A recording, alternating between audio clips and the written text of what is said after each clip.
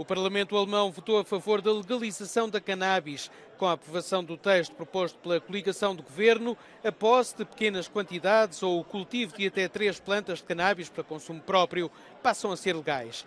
A lei permite também a criação de clubes com um máximo de 500 membros destinados ao cultivo e distribuição de cannabis, abertos apenas a residentes na Alemanha. Os planos iniciais para permitir a venda em lojas foram abandonados. O diploma passou com 407 votos a favor, 226 contra e 4 abstenções.